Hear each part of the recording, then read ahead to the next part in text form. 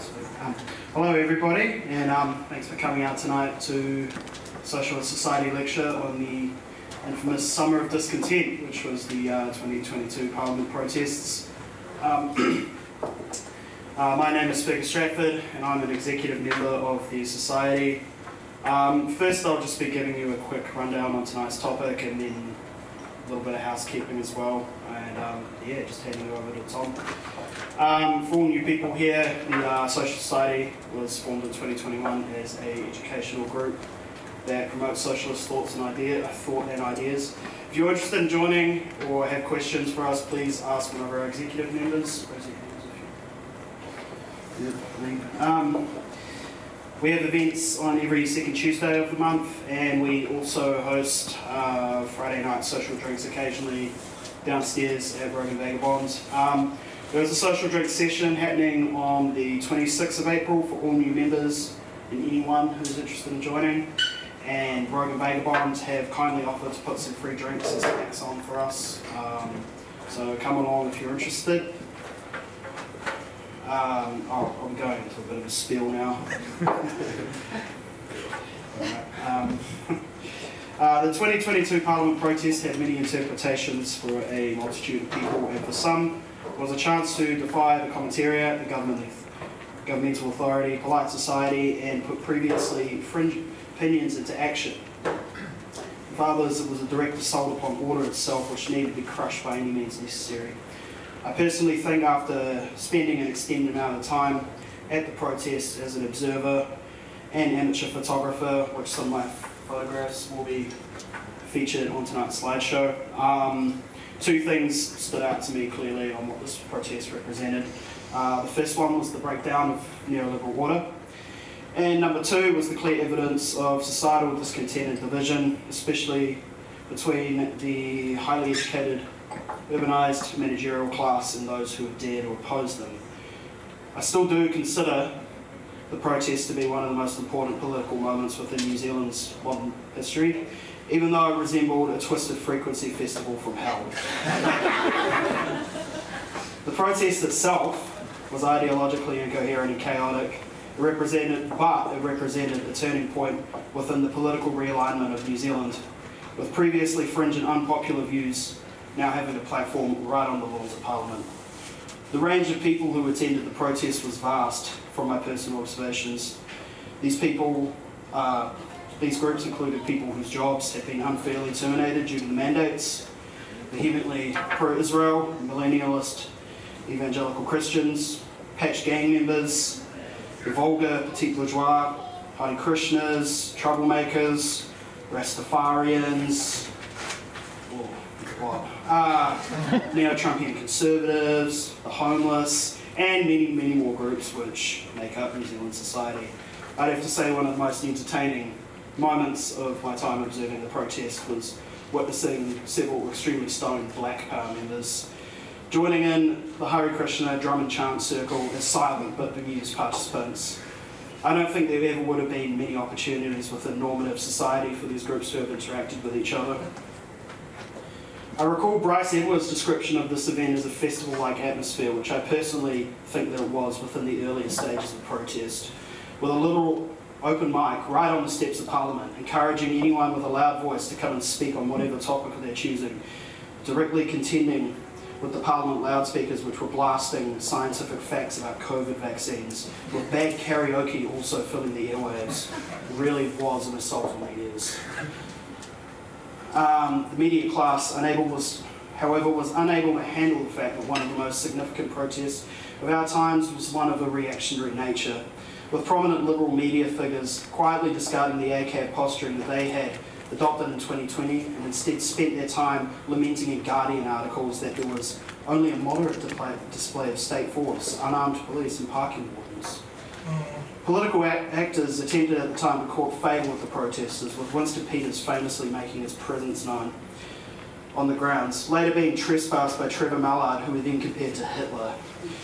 David Seymour was the first sitting MP to have engaged with the protesters in a semi-formal capacity, stating, there are com- some completely unacceptable elements of this protest, but there are also a lot of people out there who are reasonable are not violent and simply want to be heard. This could be interpreted as ACT attempting to bring in a new potential voter base, with Seymour legitimising the protest and the demands in a press release which came out on June 2022 describing the protests as a symbol of frustration that is felt more widely than a few hundred or even a few thousand people camping on Parliament lawns. It goes beyond vaccines and even vaccine mandate, mandate, mandate. Um, me. uh, it symbolises frustration with a response that started so well but has become increasingly forlorn, costly, and out of step with the world. Further in the statement, he says, why couldn't a recent negative test substitute for being vaccinated? It is good enough for Air New Zealand and their passengers, so why not other workplaces? Giving acknowledgement to the original goal of the protest, which was the complete removal of all vaccine mandate, mandates. Brian Tamaki, however, was not present there as his bail conditions restricted him from being on the grounds of Parliament. His Freedom and Rights Coalition, however, was one of the main factional entities of the, of the occupation. Protests were integral to the rise of the far-right media organisation Counterspin, often known as New Zealand Answers, New Zealand's answer to Infowars. They played a prominent part in broadcasting the protest and platforming conspiracy theory-based content. They also shifted the goals of the protest while they also supported the end of mandates and the repeal of all legislation relating to COVID. They saw the protests as the beginning of a war and called for all MPs to be arrested for crimes against humanity. They eventually ended up taking control of the protests, snatching it from the Freedom and Rights Coalition and urged the protesters to resist and use violence against the police. As much as some commentators on the left and the right would have imagined the protests becoming a war or an uprising, the commitment to resistance from the majority of protesters was evidently low, with police pressure forcing the majority out and only the fanatics remained. Their attempts to war against the state failed miserably, with the main casualties of the protest being the immense pile of discarded tents being left behind on Parliament grounds. Um, I'll be handing you over to Tom now. Thanks, man.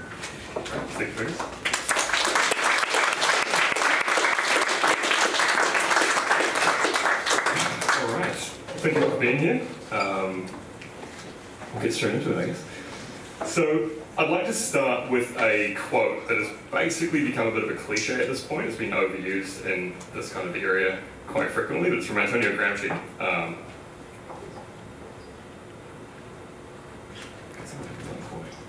oh, there it is. Just a bit of delay. the crisis consists precisely in the fact that the old is dying and the new cannot be born. In this interregnum, a great variety of morbid symptoms appear. So the interregnum is an important word here that we'll be returning to a lot throughout the talk. Um, traditionally, the word has been used for the time between one monarch dying and the next one being crowned. Uh, taking it as a metaphor, the interregnum is the period between one system or order breaking down uh, and another being established. This period, though, can last decades, as it's never a linear shift on, uh, from one stable period to the next but a slow degradation of aspects of the hegemonic order where some things are reworked and retried and new options are put forward. It's not until a new order gains the general consent of the people that we return to a period of hegemonic stability. So the parliament protest and subsequent shift in the political landscape suggests that we're in a period of interregnum. Where this began is not as important, uh, rather, understanding that the COVID 19 pandemic crisis precipitated the development of popular discontent into an articulation with anti mandate and anti government agendas, uh, showing that the previous settlement no longer fully enjoys hegemonic dominance.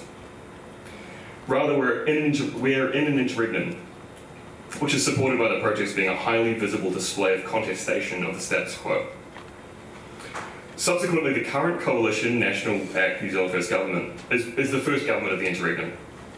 This is further supported in, in the way that ACT New Zealand First uh, courted the Parliament protesters uh, during the last election, in the process lending legitimacy and thus constructing them kind of as a political bloc in and of themselves.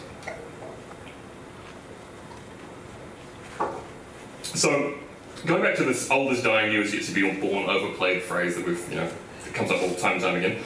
Um, the period we're living in is one where subsequent crises culminating with the pandemic have led to a destabilising of the previous hegemonic settlement of neoliberalism in New Zealand. This is somewhat applicable to the West more broadly, but New Zealand, like each state, experiences this in a unique way due to the particular conditions present within the makeup of New Zealand as a state project. Following this, I'd like to introduce this idea that I'm working with a little bit called dual crisis. It's, it's a good heuristic I've found for analysing and understanding the process of hegemonic contestation in New Zealand. The dual crises of both capitalism on the one hand and colonisation on the other, uh, though deeply intertwined, can be addressed separately, but mu must both be resolved in order to establish a period of hegemonic stability. A recent example, I said recent, uh, an example of this, of the most recent type, I guess, is in the period that led up to the establishment of neoliberalism in New Zealand, the sort of mid 80s, um, prior hegemonic reconfiguration um, around Rogernomics and that sort of thing. This followed an unsettled period uh, and resurgence of Māori activism through like things like the land marches, Bastion Point, Māori language petition, groups like Ngā Tamatoa, um, culminating in the establishment of the Waitangi Tribunal process and effectively the codification of Te Tiriti or the treaty uh, in policy and governance in New Zealand. The settling of the colonial aspect of the dual crisis was a key part in the procuring consent and thus legitimacy of the neoliberal project in that era. The restructuring of the framework of capitalism in New Zealand being the other side of that settlement process. So, following this, there's a crisis of sort of legitimacy and authority that comes up during the, pro, uh, the pandemic. Um, so the government during the pandemic, particularly the 2020 sort of Labour government that we had during that election, which is the first majority government we've had since the beginning of MMP, resembles quite similarly to a wartime government uh, in that its response to the pandemic crisis had broad cross-partisan support and consensus within the House.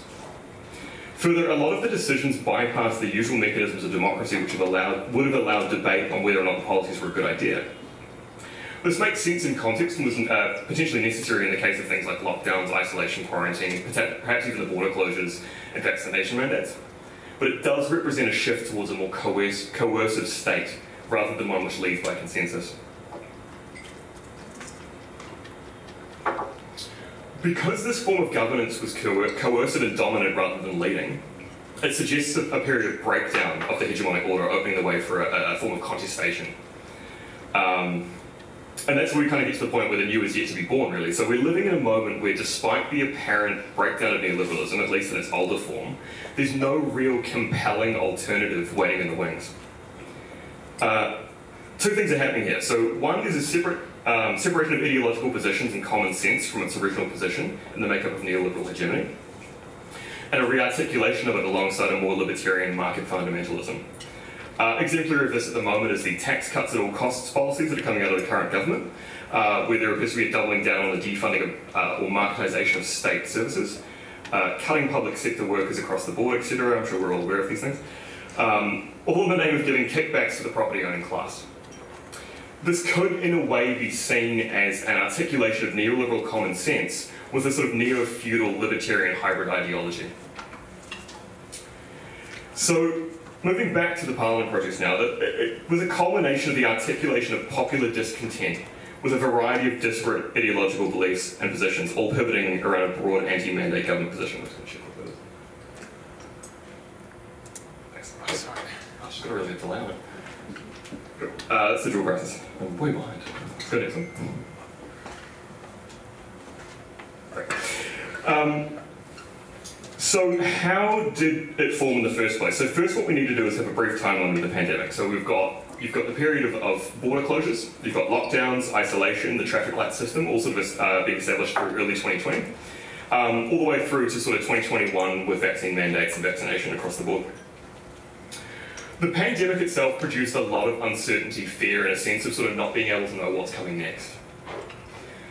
How long this is going to last, oh, sorry, um, not knowing what's coming next, how long it's going to last, or, or how bad it's going to be. Um, that sort of terrain is prime for public discontent to be articulated with a whole host of different positions. The process of being in isolation, having uncertainty and fear, uh, and the public discontent from state affairs prior to the pandemic, so things like the housing crisis, the job market, uh, low wages, cost of living crisis, etc., all kind of come together to form an efficient process for the regular people across class, race, gender, income, education levels, etc., to become what culminated the protest's sort of movement. This happened as people had this kind of fear and discontent while also being physically isolated from the wider community during lockdowns, it caused them to sort of seek community online on social media, where both answers and belonging could be sought. The nature of social media being algorithmically driven is the algorithmic, the algorithmic drive of, of social media is what places people within sort of bubbles and echo chambers, um, where the more you engage with a particular kind of content, the more you'll be shown more of that similar content and so on. Once someone begins to find these communities, for example, uh, a, good example of this is crafting and knitting groups on Facebook, which were the incubators for what became Voices for Freedom. Um, they became exposed to ideas and possible answers to their uncertainty around lockdowns and COVID itself through different community groups online.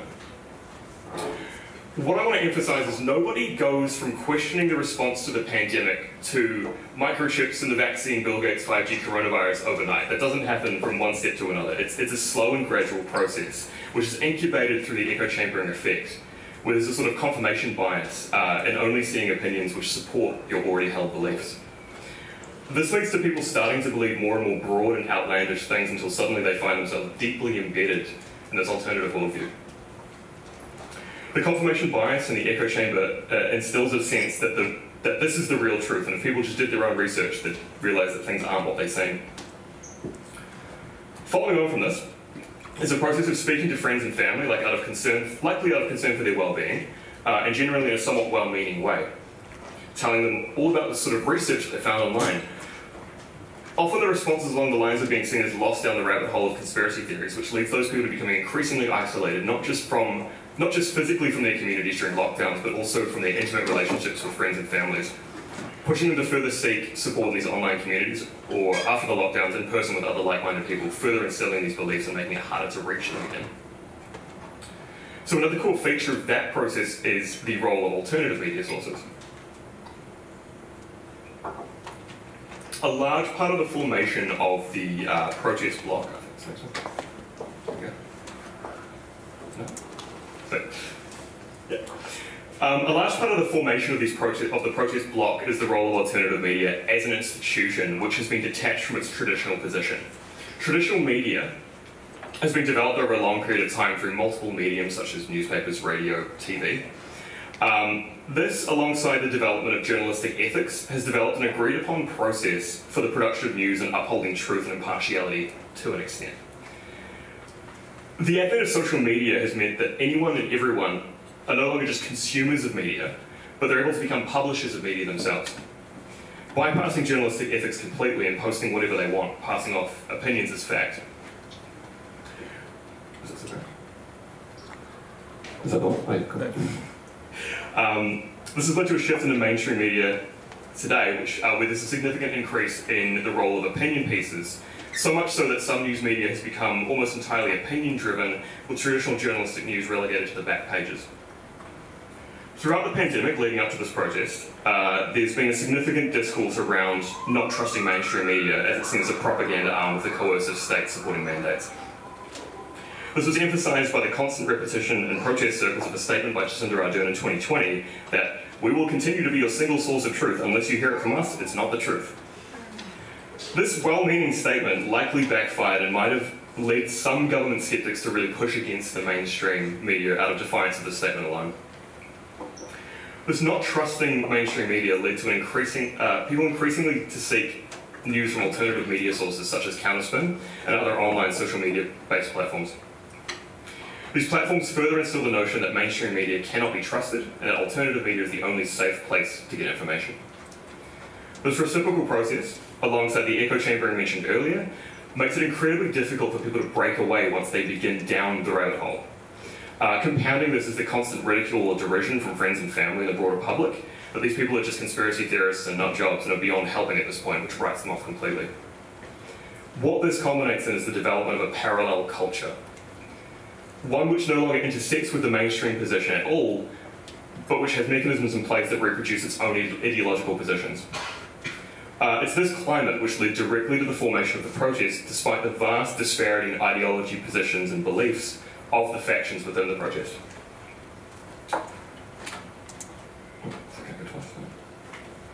So let's have a quick look at the factions. Um, so The protest itself was inspired at first by the Canadian trucker convoys uh, protesting vaccination mandates for crossing the US Canada border. Uh, this ballooned into a uh, broader protest against COVID restrictions in general, attracting similarly fringe elements, particularly as it began to be steered by QAnon conspiracy theorists as the protest unfolded in Canada. The Canadian convoy, through social media, became what is effectively a recognisable brand, a shorthand for resistance to COVID measures. The organisers of the New Zealand convoy operated within an established framework and quickly gained recognition among potential supporters. They didn't need to delve into the details of their protest purpose or logistics, simply mentioning the term convoy was enough for everyone to understand the event. Following the creation of the Telegram group for the convoy, links had quickly circulated among New Zealand's anti-vaccine and anti-mandate and conspiracy communities online.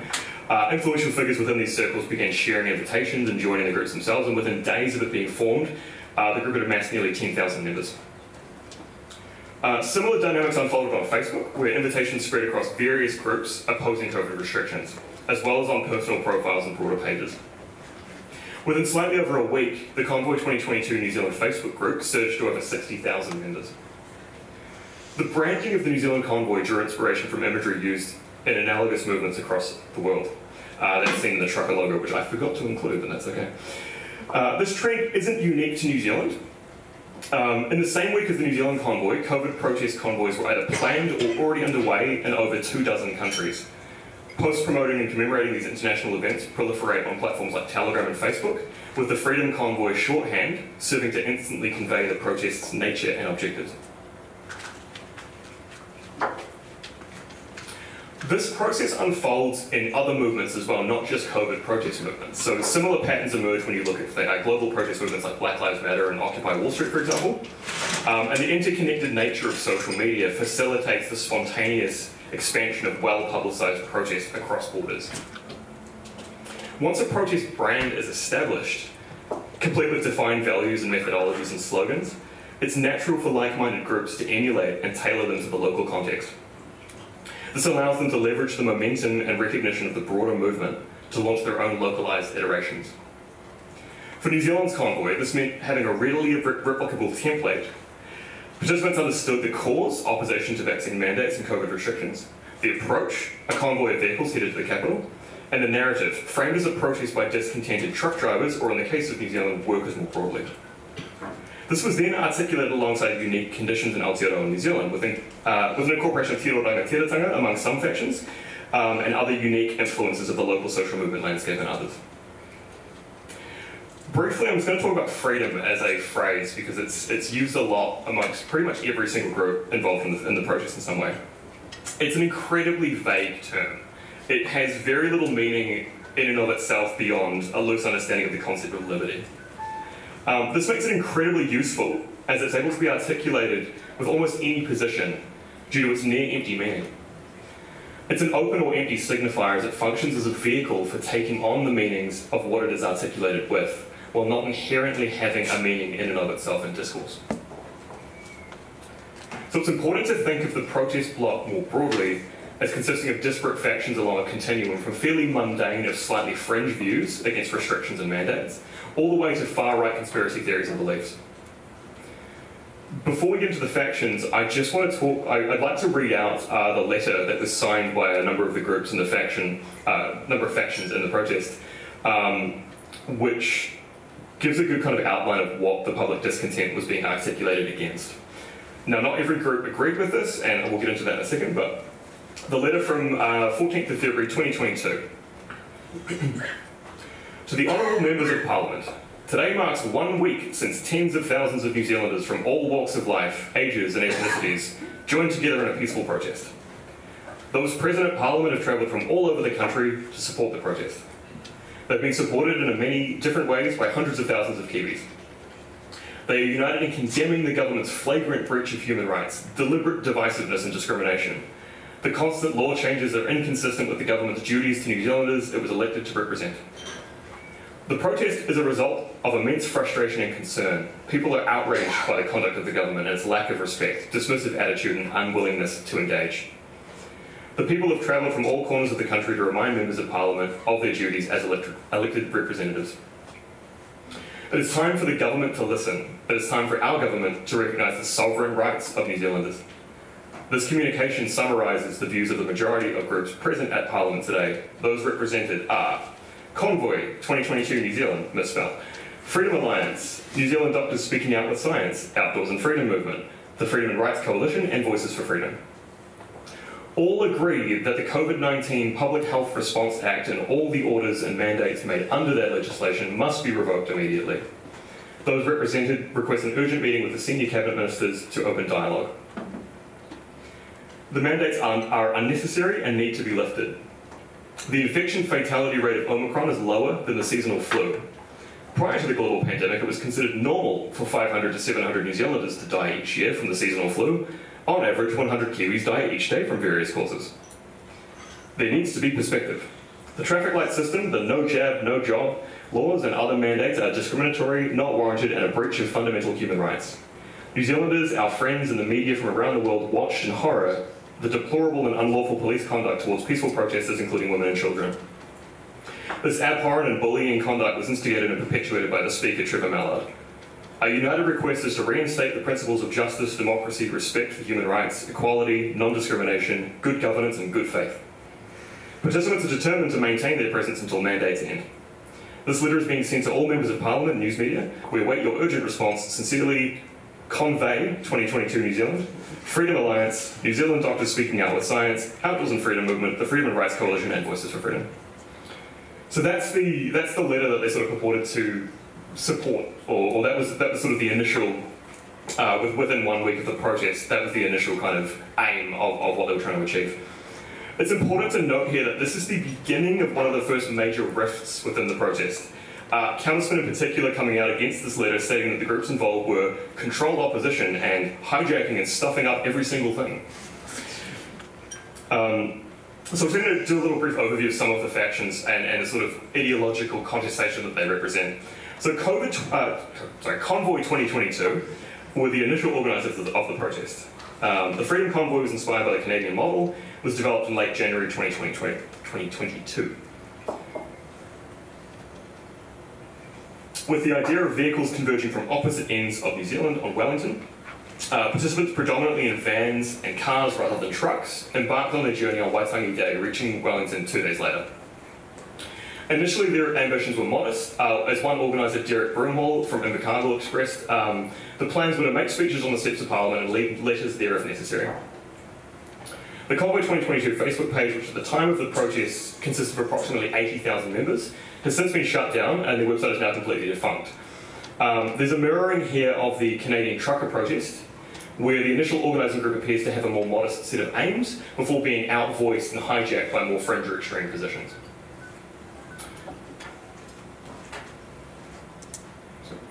Um, the uh, next group is Voices for Freedom. So this group was founded by Claire Deeks, a patent lawyer and food blogger, uh, Alia Bland, a school teacher turned small business owner selling patents online, uh, and Libby Johnson, who runs an online knitting community and small business. It's, it's interesting to note here, thinking back to the earlier discussion I brought up, um, that of the online community spaces, that Voices for Freedom was formed from online craft groups from its onset, from its outset. Um, they represent sort of an articulation of, of wellness communities, uh, family values, and discontent, often appealing to middle class, uh, middle aged women based on the communities that they come from. Um, Voices for Freedom, in their own kind of words, self purports to be a grassroots advocacy organisation established in December 2020, dedicated to safeguarding fundamental human rights in New Zealand, particularly freedom of speech, health, and medical freedom, amidst what they perceive as an overly oppressive COVID 19 response. Their campaigns advocate for balanced approaches to COVID 19 that pro- uh, prioritise the well-being of vulnerable populations or respecting the rights of all citizens. They call for a New Zealand specific strategy focusing on genuine health and personal empowerment, eschewing scare tactics, lockdowns, ineffective face coverings, and rushed experimental medicines. This is in their own words. Voices for Freedom emphasises honesty, sound science, government transparency, and individual freedom of choice without discrimination. They also recognise broader threats to freedoms and aims to address various international and local agendas through a multifaceted approach. Uh, their efforts target what they term the wobbly middle. This is a really interesting point here. Individuals unsure of how to navigate current issues, providing tools, platforms, and community connections to encourage individual and collective action. So Voices for Freedom claim to be a grassroots organisation, but they appear to have significant resources. It's really hard to really trace where their funding is coming from. Um, they've since set up Reality Check Radio, which I'm sure a lot of us have seen billboards for around the city. There's a lot of them. Um, which hosts several shows ranging from climate skepticism through to criticism of global governance to vaccine mandates, politics, etc. Um, they also encouraged a run of members and supporters in the 2022 local body elections, which was for the most part unsuccessful, but parallels Steve Bannon's contention during the Trump campaign to flood the zone with shit, uh, using the phrase flood the zone quite often in their videos available at the time. Let's go next slide, please. Uh, the next one is Freedom and Rights Coalition. So, formed from Destiny Church, led by self appointed apostle and former self appointed Bishop Brian Tamaki, uh, the group has organised a number of protests, such as the one uh, at the Auckland Domain during the lockdowns and a gathering at Parliament in November 2021, where a speaker claimed the media was, and I quote, an army of terrorists. Despite being led by Tamaki, he was unable to attend the protest, as Fergus mentioned, um, due to being on bail uh, charged with breaching the COVID Response Act. Tamaki claimed in a post the same day that that letter I just read out was, was signed that New Zealand was going down the path of UN ideology of socialism. Um, they purport not to be an anti vaccine group, but strongly for the end of mandates and control.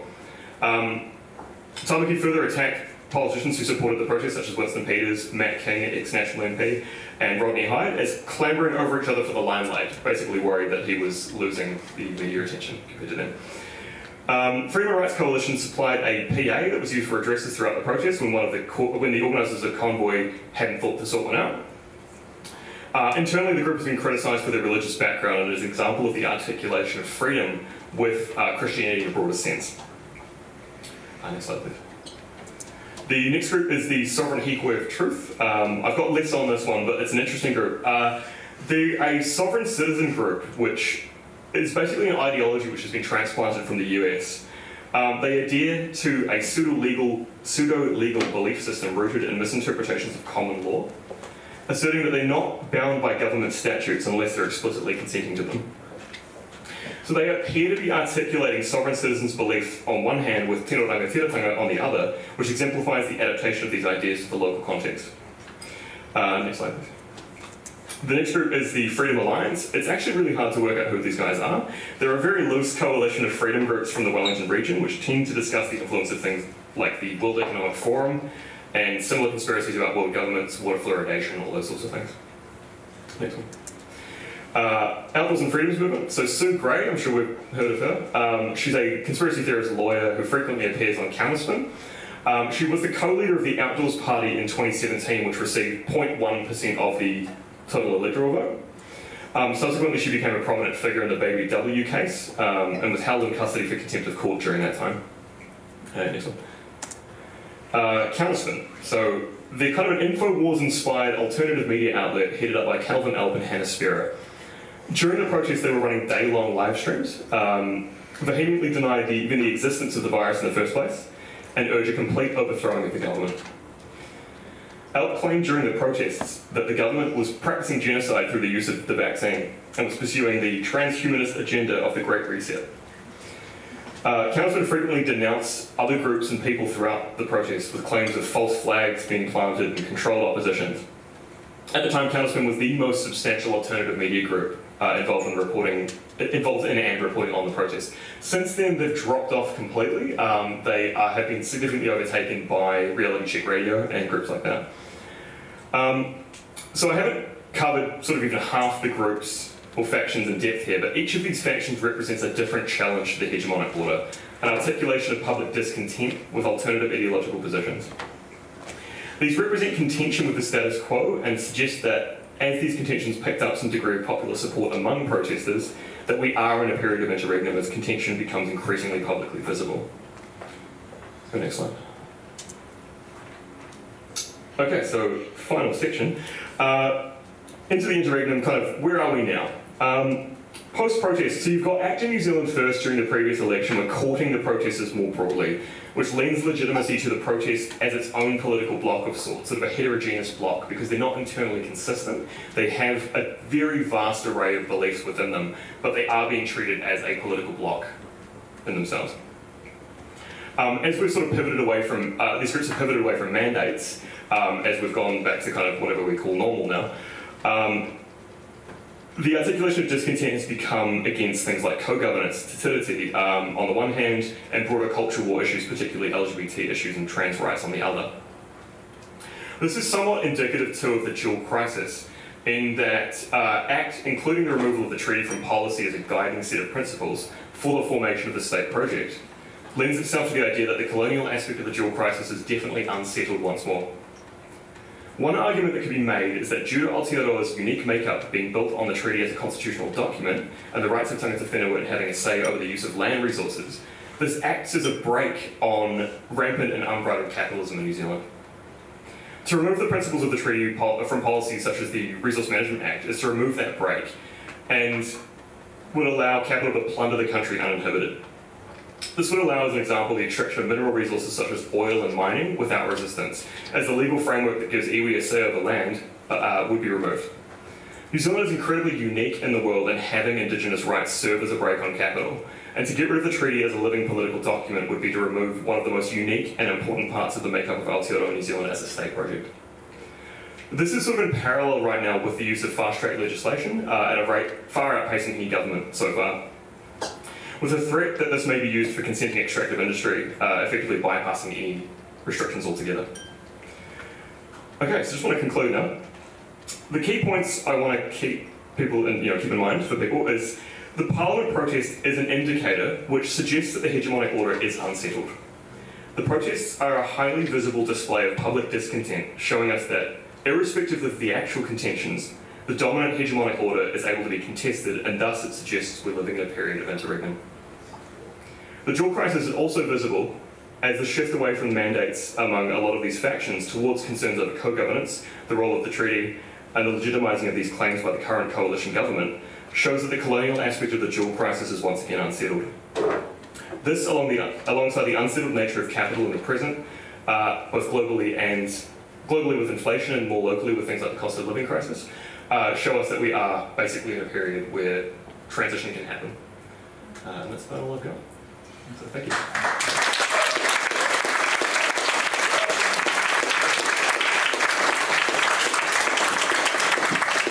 Uh, thanks for that, Tom. Um, I think we'll have about a 15 minute break. Come back at 20 past, go and have a smoke, get a drink, um, and then we'll have some questions. Welcome back, everyone. Yeah. Um, I have some questions, so um, I guess I'll be chairing. Um, so if you've got a question, just raise your hands and I'll um, you know, pick you up. Yeah. Who's got questions?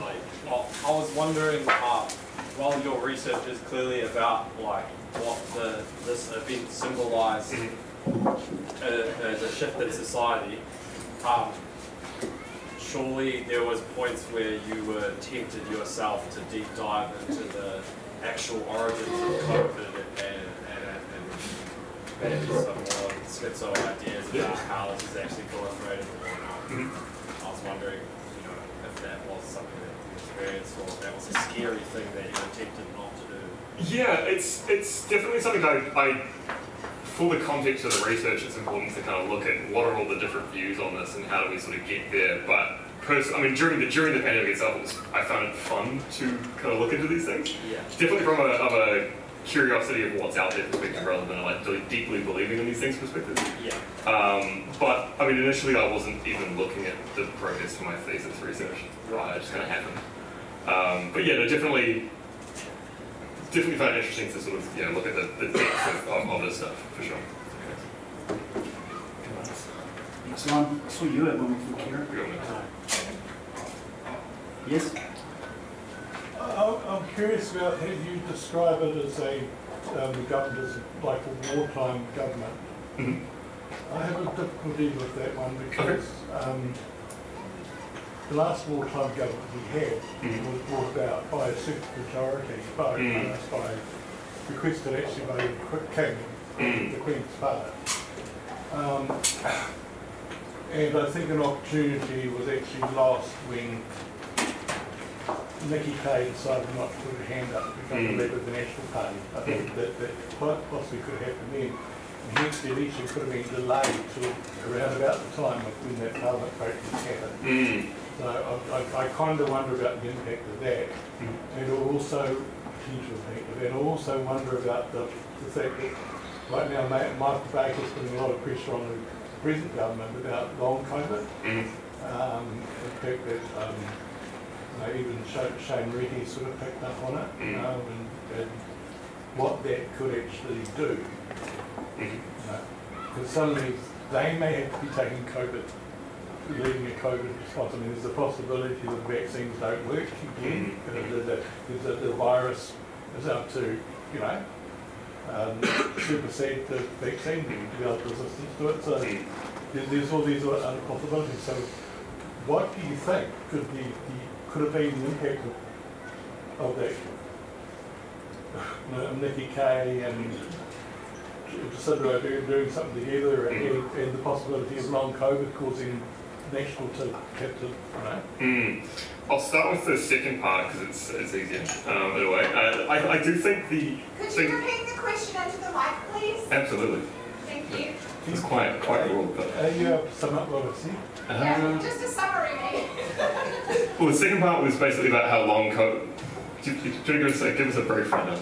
Well, well, You can, you can jump up here. Oh, no, yeah, okay, um, no, I, I was, I was talking about, um, I, I was talking, talking about the, the, the possibility of, of long COVID, um, becoming an issue, and also a possibility of, um, the, of, um, I'm not trying to be a conspiracy theorist when I say this, about the vaccine Oh, I mean, the- a, a, a, form of the virus being able to form a resistance to the vaccine, and and suddenly National having to take the whole thing seriously, just like like Labor when they were in government I also talked about um, how Nikki Kaye had become the leader of the of the National Party, quite possibly her and. Uh, her and uh, Jacinda Ardern would have formed what I call a real genuine wartime, warlike government because it actually involved uh, both National and Labor having to, you know, form a wartime cabinet. You know, and it was from the request from the Queen, uh, the King rather. The Queen made some request, uh, call off your election, do this. And I, I, I, I think the election could have only possibly been held at the time of the Parliament protest. I mean, I don't know if that it- a question, I mean, I'm just, question I'm asking really how do you think these things could, could have done things or could do things, Mm. You know? And you're talking about interregnum here and seeing what does that do to all that? Yeah, for sure. Thank you. Um, thinking about the long COVID thing, I think any, any response that this current government has is we went from having governments in what we call unprecedented times, now we have a precedent for these things. That's, that's the key thing really, is that there, there has been a process that we've followed over, over the course of learning during the pandemic, um, that there is a precedent set for how we deal with these sorts of things in the modern age compared to, say, the Spanish flu or, or something, you know, 100 years ago or whatever. Um, in saying that, though, this current government has, if you look at the kind of way that those parties responded to the COVID response in the first place, other than National, actually New Zealand First were quite against lockdowns, quite against the mandates and things like that from the beginning, or quite, were a lot more liberal with the idea of, of being open, borders open uh, to people kind of getting it and moving on. Um, the part about the vaccine not working, I guess it's just one of those things of it, people are constantly iterating on it and, and developing it as new strains pop up, so it's kind of hard to hard to say. Um, the wartime government thing, I think it's a, it's it's more useful to think of it as a metaphorical wartime government, not so directly as as an actual wartime government. You have a direct cross coalition, but it served as a cross coalition for things like the lockdown specifically. Um, and I think that's the key part of it, really. I don't think it's necessarily. I, I'm not sure how it would have unfolded or where we would be speculatively if, if there was a cross coalition government. We'd be having a very different conversation, I think. Yeah, mate. Got it. Um, you mentioned with things like Counterspin, for instance, um, you, since you're aware of the trajectory.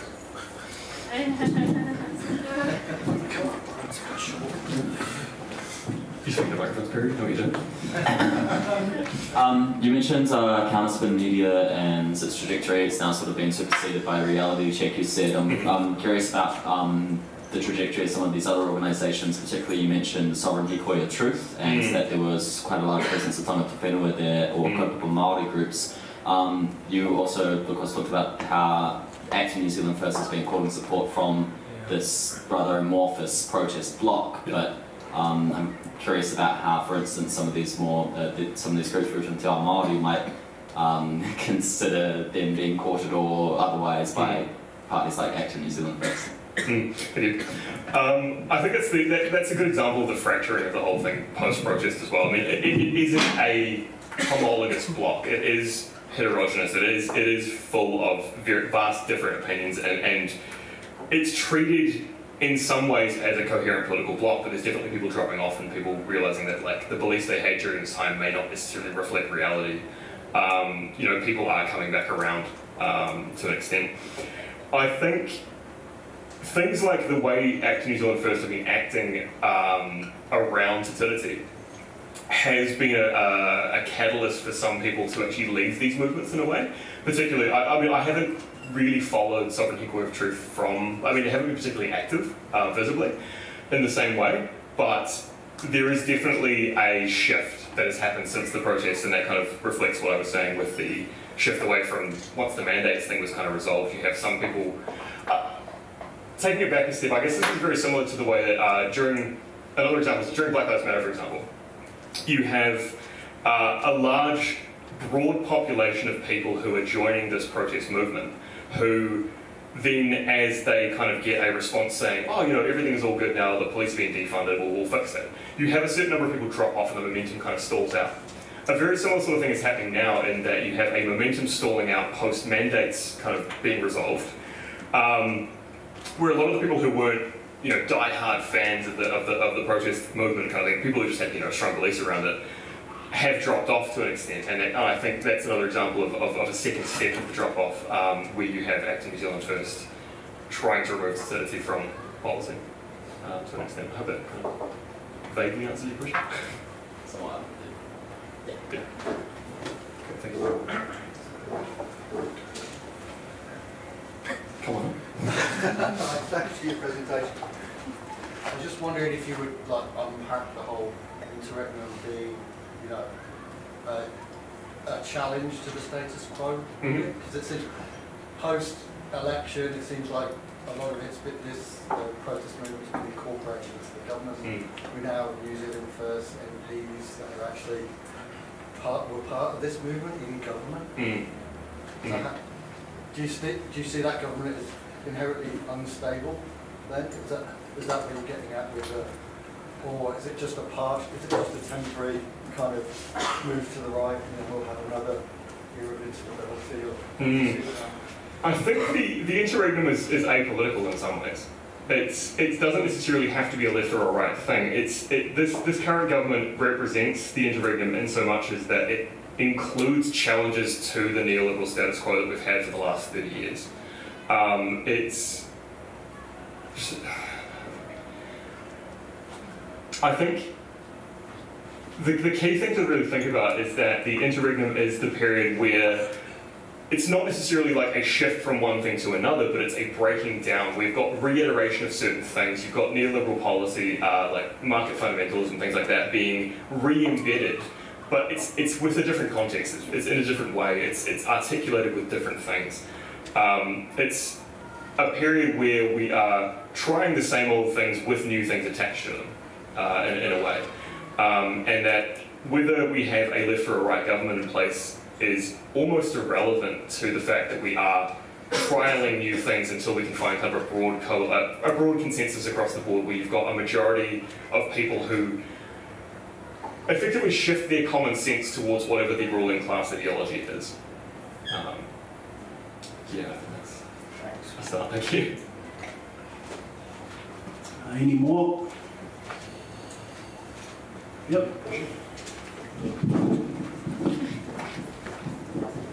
Do you want to make a prediction? if I have to. You have to. About what? Uh, Brian, Just in general. Yeah. Oh, it's going to continue to be kind of a, a the if apostle, as, as people call them. You know, it's a, it's a money making, it's, it's prosperity doctrine. It's a money making scheme. If that's the prediction. Hello. What? Sorry. Um, how does this make you feel, Tom? Generally, Yeah, that's a good question. thank you. Well, I mean, like being in an interregnum. Mm-hmm. I'd never heard that word spoken before. I didn't know how it was pronounced. Um, like literally being like, we're in this time of change, blah blah blah. Like, does that make you feel hopeful? Do you feel horrific? Do you, you know? I'm going to be real cliche and go back to Gramsci again with the, with the quote. Um, it's the it's the idea of pessimism of the intellect, optimism of the world. You know, it's that idea that you've got to be really honest and pessimistic and understanding about the fact that we need to realize that things are going pretty wrong in some ways. You know, there's, there's a pessimism around that. But optimistic about the fact that we can actually, in understanding it, work out a plan to change it or to, to do something with it. You know, a lot of what I'm working with is the idea of why did the protest go the way that it did and not, say, a resurgent labour movement or a, a left bloc or, or, you know, that sort of thing? Why, why did this sort of vast group of, of discontented middle class and lower class people, working class people, become caught up in this kind of conspiracist um, direction in some ways? The interregnum is, is very open-ended. Um, it's kind of exciting in a very scary way, I think is a, is a good way to put it. Um, you know, we have the capacity here, the opportunity, and the possibility here to make a big change in, in the world. But it's going to take us time to rebuild. It's going to take us time to get back to where we were or even start again. Um, you know, the left as a bloc has been facing significant kind of breakdown over the last few, uh, through the neoliberal hegemony, like uh, the dismantling of, of unions, for example. Um, it's going to take us it's exciting to think that we can potentially rebuild some of the stuff, but also build new iterations of it and, and respond to the context that we're in now. Um, so yeah, I think my, my feelings towards it are excited but afraid in a good way. Yeah, thank you. Anyone else? The vaccine and the vaccine mandates are more a vehicle then, as opposed to this? Your, your interregnum? Um, so the question was, uh, do, do I think the vaccine mandates were more of a vehicle for the interregnum? I don't think so. I think they were a precipitating incident that, that led to a kind of um, eruption of this whole crisis, eruption of this whole discontent. You know, something for people to kind of organise around. Um, in the past, we've had a lot of vaccine Yeah. policies in the past and New Zealand has not ever Absolutely, yeah. any, never, it never gets Not, accepted. not in the same way, no. And, and I think it's I think a, a factor of it is the fact that it costs people their jobs in some way. Um, I think I think a lot of people once their livelihood is kind of uh, threatened, it does become um, a lot more personal in a lot of ways compared to say when we had the uh, other other sort of anti-vax movements with like the MMR vaccine, for example. Yeah. Um, it- it's a lot more solidified because it's not about the vaccine in, in, in and of itself. It's about the fact that that represents a removal from society in a way. Um, So they haven't actually had those jobs, haven't they? They've lost jobs, probably. it, it may have been different. I, I think if they hadn't lost their jobs was was the way that was phrased there. So if, if people hadn't lost their jobs, if mandates weren't in place, I don't necessarily think that the protest group would have grown the way that it did. I think it was a really strong precipitating crisis point for people. Thank you. Yeah, Christian from live stream. Oh. Um, so from your perspective, how would you describe and frame the response to the discontent of these people from the left at the time? Can I get that again? Sorry. Um, from your perspective, how would you describe and frame the response to the discontent of these people from the left politically at the time? Like what was the left doing? So how, the question was, so how would I frame or understand the uh, response of the left to this discontent at the time? I think it followed the kind of fracturing of the left that we've seen for the last 20, 30 years uh, quite significantly. You had a lot of, I mean, I wasn't overly online at the time, and everything else was overly online at the time. Um, so I think the, the left is, again, it's hard to kind of narrow it down to one specific opinion. It's, it's such a broad array of opinions to sort of consider. Um, I do think there was a lot of writing these people, as, as the sort of liberal mainstream did as well, writing these people off as kind of a lost cause. Um, in, in that, you know, once they're down this rabbit hole, it's kind of not worth trying to get them out again. And, and a lot of the research that's come out since has kind of been summarized along the lines of look at how stupid these people are for believing this stuff, which isn't particularly useful. I, I, I think it's more important for us to consider why or how did people get to believing these things than it is to sort of start with what they're believing at all. What they're believing is kind of irrelevant in this in this discussion. It's, it's the process of how they got to that point. Uh, and I do think a lot of the left response online, particularly Twitter and things like that, was the ridiculing thing, which then, again, going back to what I was saying, it's that process of re-embedding or like reproducing this, this isolation for this group of people to the, to the extent that they become a parallel culture, to the extent that they're kind of so separated from the mainstream culture that they become their own kind of thing. Um, do you believe that people were actually duped into this, or did they have agency over their decisions to attend the process? Great question. I think that I don't think there's a duping going on necessarily. I think it's that people are searching for answers. They have this fear, they have this discontent, they have this understanding that like something's not quite right with the system, and we're not sure why. The answers that they find are in these communities. It's, it's in these areas where um, these sort of, and again, this is representative of the fact that the factions are so disparate, so vast. Um, the difference of beliefs within the, within the process itself represents the different, the vast array of kind of answers people received. I don't think they were duped so much as that was the answer they found, and that's kind of the path they took. I don't, I don't think it's a people aren't stupid for falling for this stuff. It's it's it's a very powerful process. Um, you know, any of us could do it, and this, and this is represented in the fact that it's not just uneducated people like some people frame it. It's, it's across the whole board. It's, it's you know people of all education, income range, um, class, race, gender, etc. It's it's it's a very vast array. It's it's the bulk of you know the populace. Um, you know across every strata, there are people within that that um, have, have kind of gone down this path. Thank you. Um, anyone else? I think we'll have. I think I think we'll ask two more questions and then.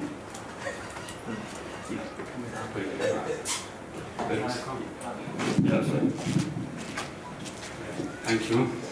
Uh, actually, I just want to share an experience. Uh, the first day I came to Wellington, I moved from Christchurch to Wellington. That protest, uh, protest has started. So it was quite not shocking for me, but I found it interesting.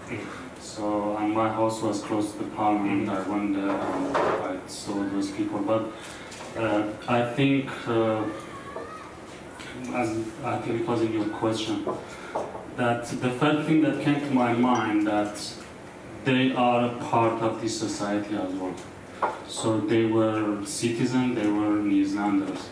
So I was thinking that uh, the uh, whole left or people who are not agree with them, the way uh, they rejected them, the way they humiliate them, I think that was not a radical act. The radical act is to what you did, try to understand them, because they are a part of the society. So that was my experience because it was the first uh, like thing that I experienced in Wellington. Still stay in my mind, and I was thinking about it. And people were warning me that don't go there or be careful, but uh, I think the whole the way that people, especially on Twitter or social media or media, uh, treated them, I think that was not a, a proper act. That was, very just I want to put a comment. Yeah. Thank you. Just. All right, we got a couple more. Let's go on there. and then- Come on. Um, just wondering from your work on this, um, so you had all these disparate groups. Is there any idea from what you've looked at of what they actually wanted, their vision of society, should? That's What, what were they, because there's all kinds of, we're against government, we're against this, is it, well, is there, you know, and someone's saying it's a communistic government, blah, blah, blah. Is there anything overall of what they, beyond their mandate, is what they wanted? Short answer, no. That's that's the key thing, really. I mean, this is why I think it represents the interregnum in a lot of ways, is that it doesn't necessarily offer a coherent alternative path forward. It's it's so fractured. It represents the fact that we have these different iterations of things that try and fix things, rather than going, hey, like let's let's build a new project. It's not a it's not a counter hegemony anyway. It's definitely a um, kind of vast array of, of, of potential paths forward, but it's it, it doesn't have consensus. It doesn't have uh, even even amongst the protesters, it doesn't have an internal consensus beyond the stop mandates part. Um, which I think what is what makes it the most interesting thing really is, is that it's not it's not that easy. It's not that straightforward. Um, so should it have been that way, it would be a lot easier to talk about this stuff. I think. Um, but realistically, it represents such a disparate, vast array of, of opinions and beliefs and understandings and, and kind of ideas of how to resolve this stuff that it is just a part of that kind of contention in general. Um, hopefully that, that answers your question.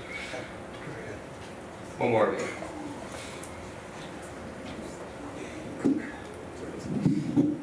Okay, so I have um, two things. I was thinking, like, one, if what we are seeking is an articulation of a coherent path forward, I think we should look to Matike Mai. Yes. And I just wanted to put that in the room.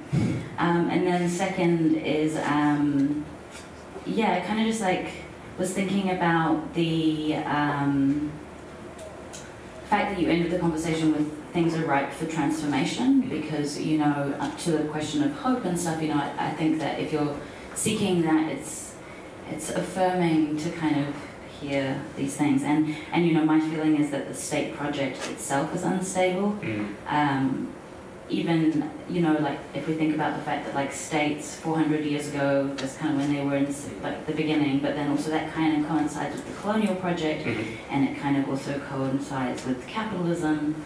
And so I think you know that's really interesting, particularly when we're drawing lessons from like the European authors like Gramsci. Yeah. Um, but you know, as I think you kind of said, uh, the the situation being right for transformation is like particularly specific in New Zealand. I think because of our um, relationship with Te Tiriti. Mhm. Um, oh no, I lost my. Well, we're, we're deeply overdue for a constitutional crisis. Yeah, totally. Um, let's go. Um, and so, actually, what I was kind of thinking about in, in, in regards to all that, like specifically, was that one of my favorite kind of anecdotes from your um, talk was about the Hare Krishnas and the patched gang members hanging out. And I was thinking about the fact that social reproduction has been one of the, like a Mm. huge uh, casualty of neoliberalism Mm. And how I, you know, like you've been examining the behaviors of these different groups and how they've all been kind of interacting, and you know, I was just wondering if there were any kind of things that stood out to you in terms of, I don't know, practices of, of social reproduction or ways of gathering or whatever that were not Mm. political but were just about bringing people together. Yeah. Hmm. I forgot the first of what you asked. I was kind of just chat.